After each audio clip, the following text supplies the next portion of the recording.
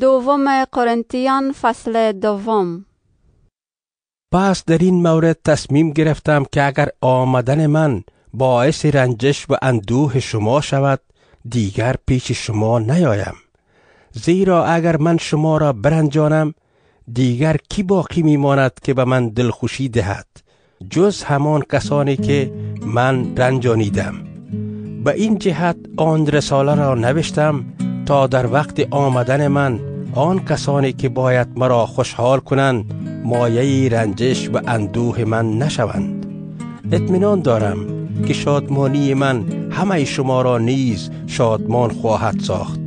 من آن رساله را با قلب بسیار اندوهگین و پریشان و با اشکهای فراوان به شما نوشتم و منظورم رنجانیدن شما نبود بلکه می‌خواستم شما را از محبت خاصی که به شما دارم خاطر جمع سازم.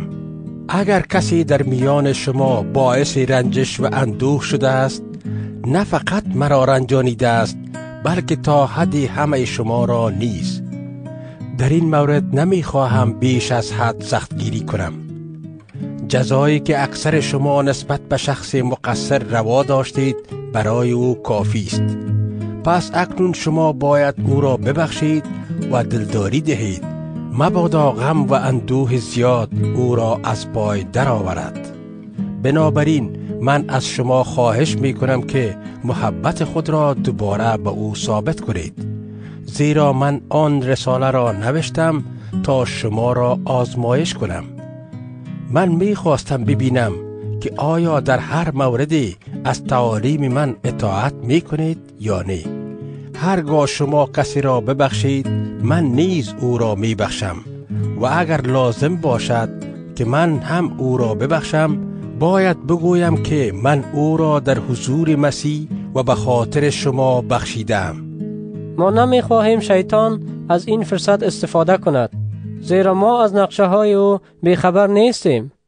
وقتی به ترواس رسیدم که بشارت مسیح را بدهم فرصت خوبی برای خدمت خداوند داشتم.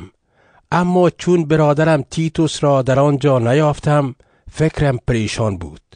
پس از حضور ایشان رخصت شده به مقدونیه رفتم. اما خدایی که ما را به وسیله مسیح در صف پیروزمندان قرار داده و هدایت ما می کند شکر می گوییم. مثل عطر خوشبوی در همه جا پخش می شویم تا بوی خوش معرفت خدا را به همه برسانیم.